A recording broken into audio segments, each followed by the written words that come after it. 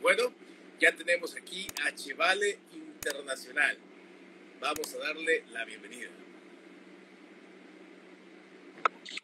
Bueno. Chevale. Arroyo, buenas tardes, buenas noches. ¿Cómo onda, caballo? ¿Cómo andas? Muy bien, gracias a Dios. Oye, Chevale, eh, mucha incertidumbre, la gente está atenta a las 7 en punto. Nos dijeron que querían escuchar por qué llegaste tarde. La verdad, tuve un percance ahí, una serie de compras que tuvimos que hacer. Y aquí, pues, hace ratito llegamos a la ciudad de Moclova, donde vamos a abrir serie mañana contra aceleros. Pero aquí estamos con gusto de, de, de, de atender a, a, la gran afición del béisbol mexicano, en especial a los seguidores de las Águilas Mexicanas. Oye, Chevale, eh, les platicaba que la, desafortunadamente el día de ayer los Toros de Tijuana, el, al equipo al que perteneces en verano, eh, rompió una racha muy importante de juegos ganados. El 8-0 lo perdieron el día de ayer. ¿Qué fue lo que pasó, Chevale? ¿Cuál es tu, tu, tu análisis post-juego?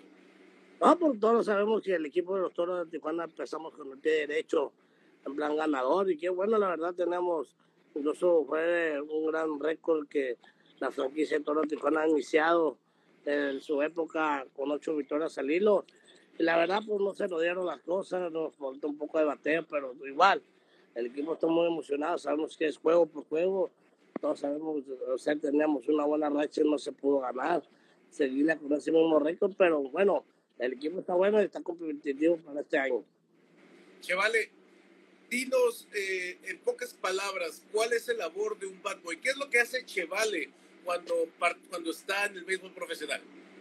Pues la verdad, de, de, la, el trabajo de un bad boy es tener la, es la, tener la utilería de, del jugador, lo que va a necesitar antes y después del juego, para cada uno realizar el juego, ya que durante, antes del juego tenemos que tenerle el uniforme puesto, listo, uniforme, pantalón, jersey, y, y el zapato ya después de haberse acabar todo limpiar, lavar los uniformes, lavar los espacios y acomodarlos, acomodarlos, darle listo cada, cada, jugador la cada, jugador la utilería que va a utilizar para el día siguiente para poder realizar sus labores de, de, de un juego. Chevale, ¿qué tan pesado es este trabajo después del juego, que termina un juego, termina una serie y tienen que viajar a otra ciudad para jugar al día siguiente? ¿A qué hora regularmente abandonan el estadio? ¿Cuánto tiempo dejan después del juego para seguir trabajando y poder tener todo esto que nos cuentas listo? Pues, prácticamente nos hemos estado llevando hasta 3, 4 horas después de cada juego. Se acaba el juego, pone a las 10 de la noche y súmale 4 horas, 3 horas, 3 y media, 4. Después de haberse acabado el juego y es cuando ya podemos acudir a nuestra casa. Oye, chavale, ¿y qué tan aficionado? ¿Te gustan los juegos de extra innings? La verdad que no, no, no. porque, pues, como tú le acabas de decir, hay días que tenemos que viajar al día siguiente, partir de una ciudad a otra, y es un poco cansado para nosotros. Tú sabes que entre más se, se alargue un juego, es más, es más cansado para nosotros. Chavale, aquí en los comentarios nos dejaban, aparte saludamos a las personas que están eh, incorporándose a la transmisión, lleguemos allá a Cochito Cruz, también al emplumado Daniel Castro, nos dejaban eh, la pregunta, ¿por qué te dicen Chevale? Chevale porque me llamo José Valentín. Es por José y vale por Valentín. Es argentino. Ah, muy bien, el pibe, el pibe de barrio. Sí, ya lo he buscado y sí es argentino, pero sí. Oye, Chevale también durante toda la temporada eh, pasada, en especial de los Águilas de Mexicali, eh, hubo algunos encuentros donde se vacían las bancas. Eh, recordarás que hubo algunos, eh, a lo mejor lamentables momentos donde la violencia aparecía. Pero ¿qué es lo que hace regularmente Chevale cuando pasan esos momentos? Porque lo vemos algunos momentos desanexado del de todo el, el, el acumulo de, de, personas ahí en el pleito. ¿Qué es lo que hace Cheval en esos momentos? Pues la verdad, pues cuando se arma la trabuca, como le llamamos nosotros, el pleito, nosotros salimos a juntar bates, bat, pelotas, todo lo que sea de utilería que se puede utilizar para poder agredir a un jugador. En este caso, pues, cortar los bates, pelotas. Eso es algo que salimos nosotros. Bueno, en este caso, pues salgo yo a quitar bats, cascos, todo objeto que se pueda utilizar para poder lastimar a un jugador.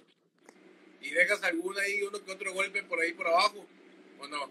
No, la verdad, no, no me ha tocado, pero sí. No, no sé si se acuerdan del pleito que hubo de Águila Mexicali contra Charros de Jalisco. Aquí el pleito, se, se, se, metió casi que se quería meter al estadio. Ahí fue una de, los, de las peleas, pleitos. Una me pisaron mi pie derecho me reventaron la uña del dedo gordo. No supimos ni a quién ni quién fue. que pasan a la, a la, a la hora de un pleito gajes, gajes del oficio. Chevale, durante tu carrera en el béisbol, la pelota mexicana, has pasado por los Diablos Rojos del México, eh, los, los Cañeros de los Mochis, los Águilas de Mexicali. Así de bote pronto, ¿cuántos años le calculas que tienes dentro de la, del béisbol mexicano? Tengo 17 años. Ok. Tengo 17 años, empecé a los 20. Empecé muy chiquillo. Hombre estado, ¿no? Pero sí. Sí, empecé a los 17 años, tengo 17 años en la liga. 17 años, toda una vida como bad boy, chavales. ¿Te gusta tu trabajo? Sí, la verdad, es, bonito, es bonito andar en el, en ambiente del béisbol, conocer mucha, muchos jugadores este gran deporte, muchas ciudades, mucha fanaticada antes pues estaba uno en casa y no sabe uno qué tan agradecido. Pero yo veo que he estado, he estado creciendo el béisbol más con estas figuras. Ahora este año que todos sabemos que la Liga Mexicana de Verano está plagado de estrellas. Se levantó los Colón, el Puy, nosotros, Fernando Roine, eh, de unas estrellas, puras estrellas que se han estado armando con a base de, de todos los equipos del béisbol mexicano. Y creo yo que eso es lo que le da, le da buen espectáculo al gran béisbol mexicano. Y ojalá que, digo, que todos los equipos competitivos den un buen espectáculo a la hora del juego. Oye, chavales, la temporada pasada te vimos como TikToker, ahí con Héctor Hernández haciéndole videos al TikTok. ¿Cómo, ¿Cómo fue esa faceta? Te miramos bailando muy, muy, muy, muy fluido.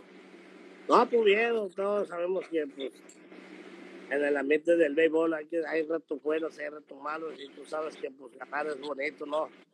Y pues, la verdad se disfruta, se disfruta cuando se gana, se, se tiene un buen ambiente. Gente, y Dios, nos tocó hacer TikTok con, con, grandes años atrás, he estado haciendo bailes con Enrique Álvarez, el Bombori. Le digo yo. Hemos estado haciendo buen espectáculo porque todos sabemos que ganar es bonito. Sí, claro que sí, Chevale. Para, para finalizar esta plática, Chevale, eh, quisiera que platicaras de cómo es la relación con Money Extreme. Ya ves que siempre está el Home Run Derby y ahora que Jumbo Díaz acaba de publicar que el Manny ya está entrenando. ¿Cómo es esta relación con el Homer Derby y Mighty Extreme. La verdad, muy bonita. Llevo una buena, bueno, llevo una, una amistad de, de, de, amigos con conocidos en la liga. O sea, no lo conozco personalmente, lo conozco personalmente, pero los gustos. Y me, me, tocado, me ha tocado la, la revancha que todos sabemos que es el gran Ron Derby lo admiro como persona, como no se debe admirar, igual al, Antonio Romero, el pavo de los Zaraperos Saltillo y Topero de Culiacán, que somos los, los, tres grandes pequeños que estamos en el béisbol. La verdad es una gran admiración, como te digo yo. Es un gran amigo.